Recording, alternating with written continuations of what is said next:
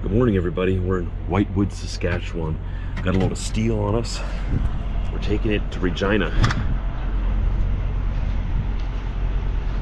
There it is. Found ourselves in this mud lot. We're at the Petro Pass in Whitewood, Saskatchewan. This place isn't usually mud, but it rained pretty hard yesterday, and it's actually dried up, believe it or not. It was worse last night.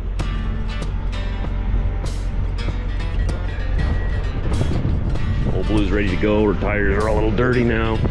Unfortunately, it makes me sad. Let's get this freight delivered. Get it off my trailer, and let's get some new freight.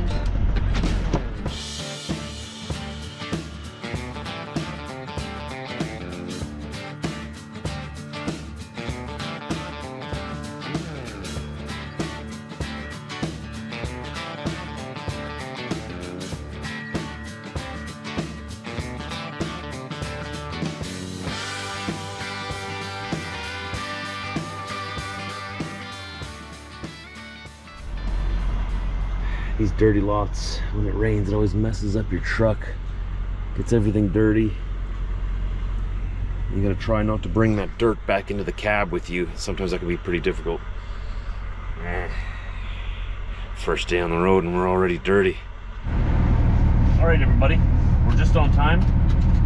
Let's get out of here. Gotta avoid some of this mud in front of me Ugh. shined up my aluminum at least this morning, but I still do need to get out of this mess without getting the truck too dirty. Really wish they would have a paved lot, but I know that's a lot of money. Goes a long way though. Oh, we're just like sinking in like three to four inches. Yikes. Oh, now we're on a harder spot. That is a mess. They must have just got a downpour yesterday. I know it was raining most of the way here, but they must have really got it.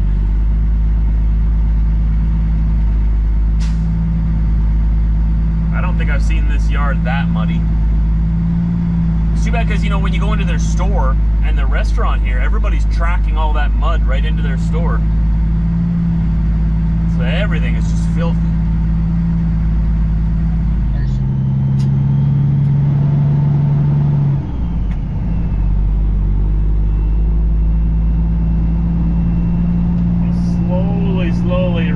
Along here for a bit, get all that mud out of my tires a little bit so it's not thrown all over my truck. Turn left on Highway 9.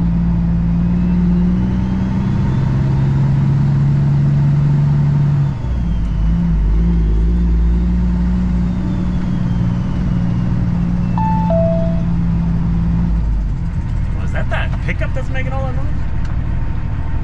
There's a Dodge pickup that's coming up beside me here.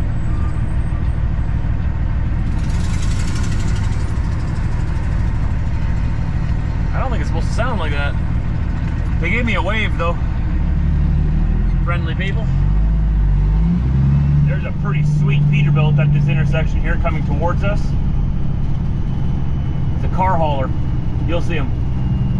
In 200 meters, turn left on Trans Canada Highway, Highway 1. All right, here he comes. You guys ready?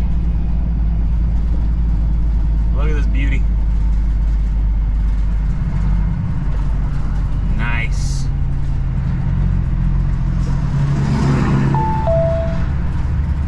Even Karen likes him.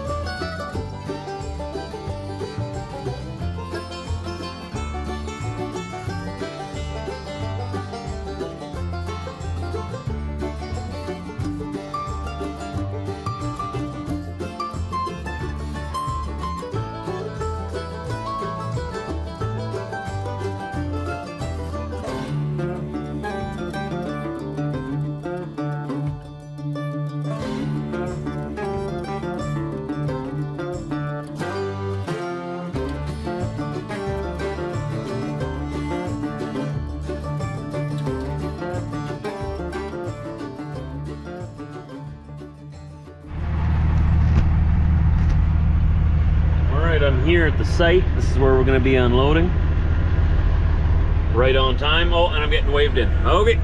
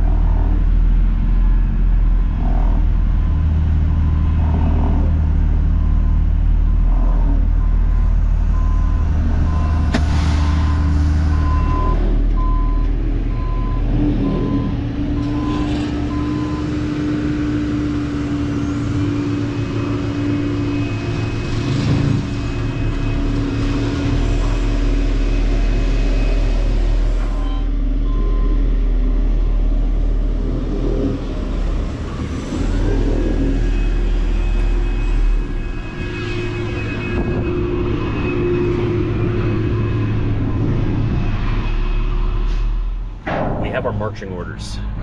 We're zipping back to Winnipeg from here. There's a nice load there waiting for me. Uh, it's gonna come back to Saskatchewan to Langbank, not quite all the way back to Regina, but I'm gonna zip there and zip back. Uh, my pickup appointment for tomorrow is set at 4 p.m. So we're we're gonna call ahead in the morning and be like, hey, if you got the stuff ready and you want to, we can load me up early, you know? Get me out of the way a little earlier in the day. I don't know how busy they are at the shipper, so I'm gonna try. I'm gonna try calling in tomorrow. I already called our office and they said, yeah, I should just give them a call in the morning and uh, see if we can get loaded a bit earlier than that. But if not, 4 o'clock it is. And then we come back to Langbank. We deliver in Langbank uh, 8 a.m. the following day. So it'll keep me busy for the next, uh, well, for tomorrow. So tomorrow's Wednesday. And Thursday morning I'll be unloaded and uh, we'll go from there. I'm just gonna be work, work, working for the rest of this month though. So wherever the truck needs to go, that's where the truck's gonna go.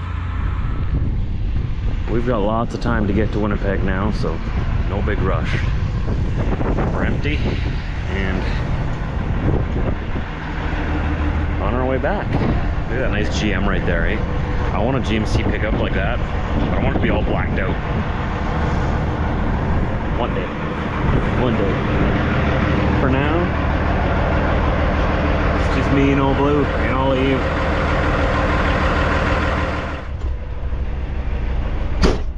Got about a six hour drive back.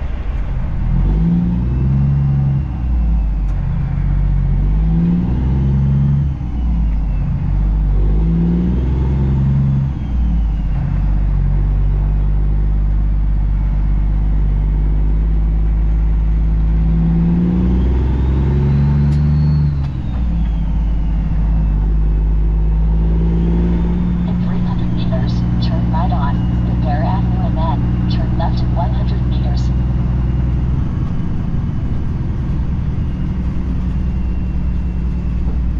Turn left.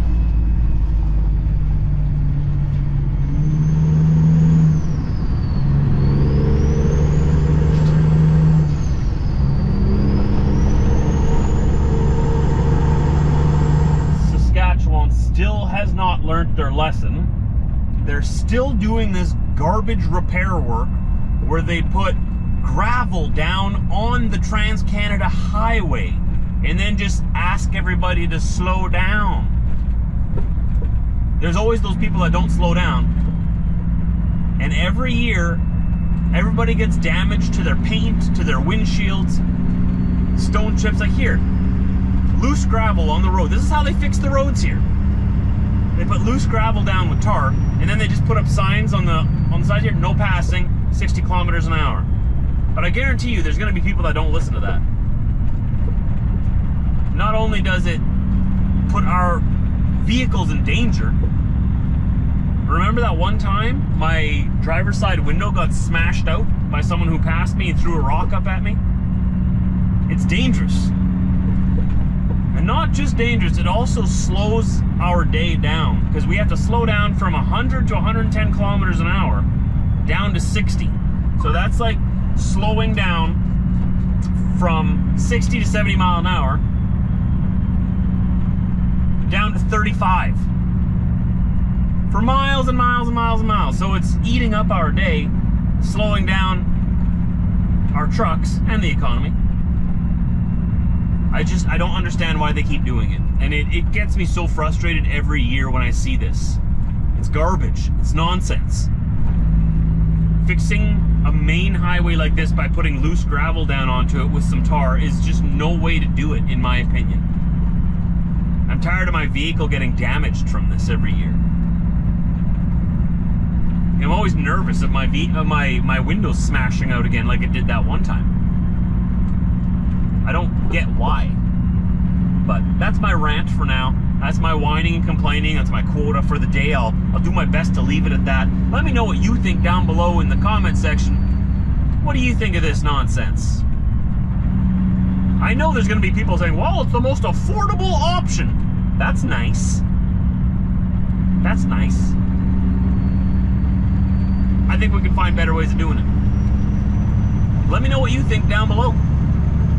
Should we be fixing, like, this would be comparable to a United States interstate going like across Nebraska or across South Dakota or something, right? This is our main highway. Can you imagine fixing I-80 or I-90 with loose gravel for miles and miles, like 20 miles at a time? Just put loose gravel on the freeway and just telling people, please slow down. How do you think that will go over down there? Same thing here. Love to know other people's opinions. Am I wrong? Should I be quiet? Should I shut up?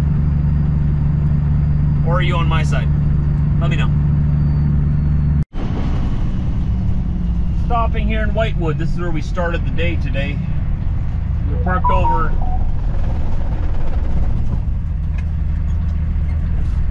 we were parked over at Petro-Pass this morning. But now I'm gonna park at Co-op and I'm gonna do my walk here in town. Get that out of the way. Since we got lots of time, may as well, right? Pull in right here if there's no one between these guys. Perfect. I don't think I've ever actually explored Whitewood, Saskatchewan before, so been through here many times, but never went walking through the town. Let's go see what it's all about. So this was the parking lot that we slept in. Slept right over here. Remember how muddy this was this morning? Dries out pretty quick. There's still some wet spots here. For the most part, I mean, this was so wet we were sinking in like three inches over here. Dried up pretty quickly. Guess that uh, sun's behind the cloud right now, but doesn't take long.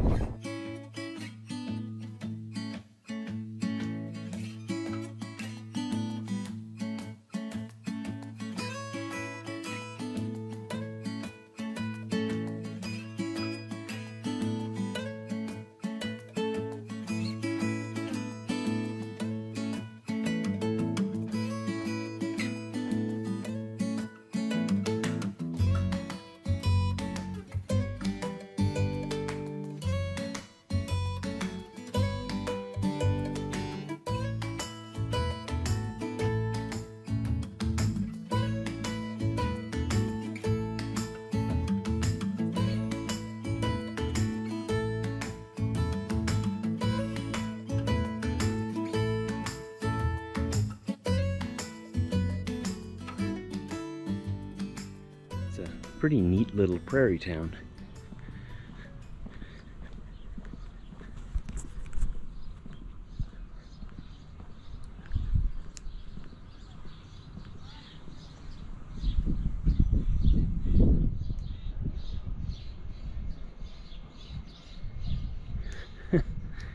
Can't believe I've never swung through here before. That's why I keep saying these walks help you discover things that you would usually just walk right past, right? Look, they got like a little miniature version of it there. That's awesome. It's a regional library and town office.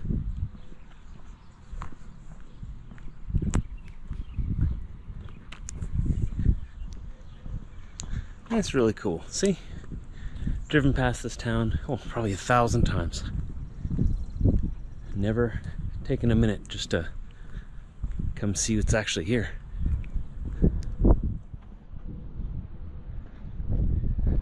There was a war memorial on that side of town. I included it in my short video if you guys have been keeping up with those. A little bit of a sneak peek into the longer format. This one here says, dedicated in memory of Dr. Juman for his faithful service to the community, 1971 to 2014. That's nice. Nice park. Oh, and look at that over there. They got one of those like, uh, uh, what do you call those? This little library, little book box. Do they have these in your community too? It's almost like a little mailbox.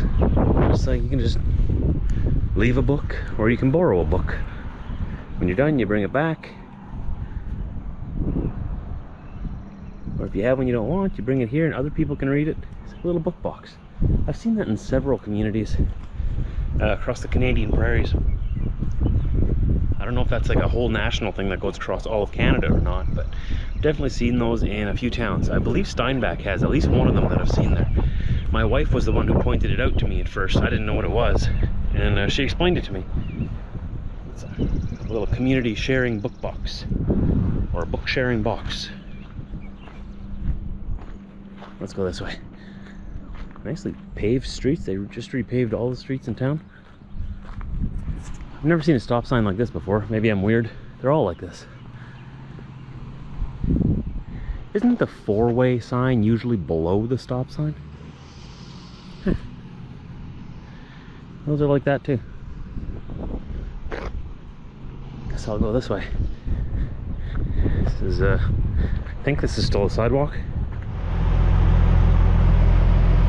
Well, that was fun. Back to work. Here's the one hill, the one valley in Manitoba. Big time valley.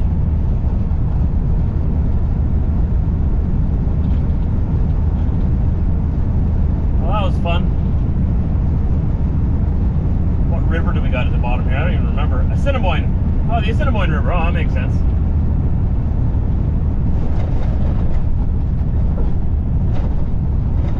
yeah, that's it. That's uh, that's all the excitement in Manitoba.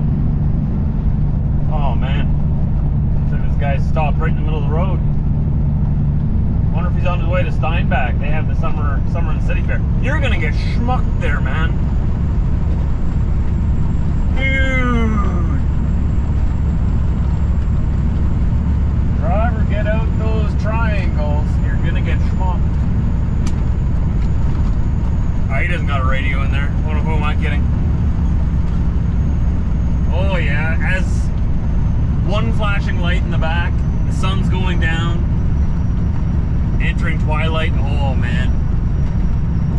The way you know it's summer or almost summer on the prairies in Canada is all the bugs on your truck as soon as the sun goes down. I'm gonna fuel up at the Flying J. We're in Headingley right now, just west of Winnipeg and we're gonna stay there for night. I'm gonna fuel up so I can grab a shower. For those of you who don't drive truck, when you fuel up at most truck stops, you can have a free shower. Otherwise, you gotta pay 15 to 20 dollars, depending on where you are. Sometimes it's 10 dollars. I never pay for showers, so I'll just fuel up and get a free one. In 400 meters, turn right on Camp Manager Road and then turn right in 260 meters. Hope there's some parking available for me. It's already 11 o'clock, so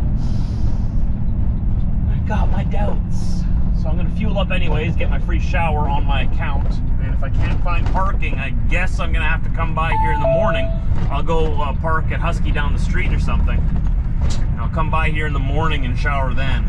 I'd much rather shower before I go to bed than in the morning.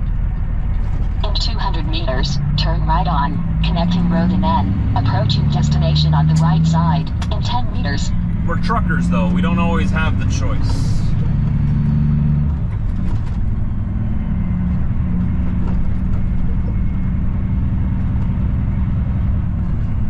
Probably gonna be pretty full, but I'm hoping there's at least, you know, a couple spots open all the way at the back. Ah, I shouldn't have driven through that puddle. Ah, I'm gonna have to wipe off my chrome now.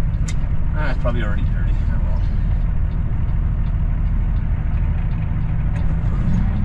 Oh. Is every single pump blocked right now?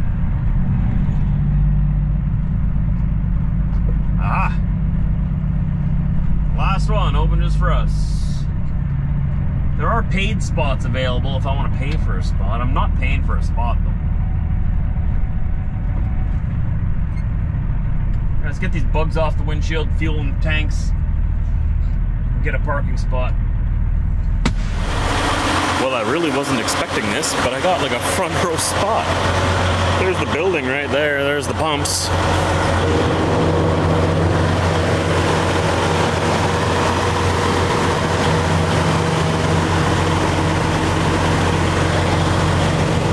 Right at the front. We didn't even have to park way at the back, though there is lots of parking available back there. So it's good.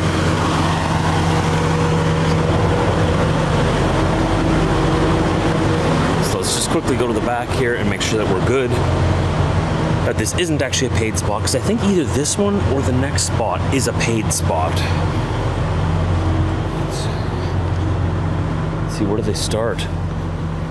Oh, no, no, no, no. Okay, so the paid spots start way over there. Not one paid spot is taken. Oh, wait, I lied. I lied. At least I'm an honest liar. I lied. Oh, I lied again. There's no one. Why is he so far out? See, this guy is right to the back here. Why is this guy so far away from the curb? Jeez. So I'm a little ways down from the paid ones. There's one, two, three. I'm the fourth one over, but still, I'm pretty happy with that. Noise. Well, this is where we're gonna end today. And that's it for today, everybody. I'm pretty happy with this spot. Like, not too shabby. I was expecting it to be completely full. at 11 o'clock at night, right in the front. I'm gonna run in there now, grab a shower, clean myself up, come back here. I'm gonna work on some videos and stuff in my office back there a little bit, and then get to sleep. We'll wake up tomorrow morning and uh, give the shipper a call. Be like, hey, I know my appointment's for 4 p.m. But if you want to go home a little earlier, I'm in town and would love to get loaded a little bit earlier. Just think get me loaded and you can go home. You don't have to wait till 4 p.m. We'll see what they say. See, uh, I'll put on my uh, my super serious, convincing Trucker Josh face and use my best convincing Trucker Josh voice. And I'll say, please. We'll see what happens. if not, then we'll load at four, and then we'll head back into Saskatchewan. Take care, everybody. Be safe out there. Keep your eyes on the road. Keep your head up.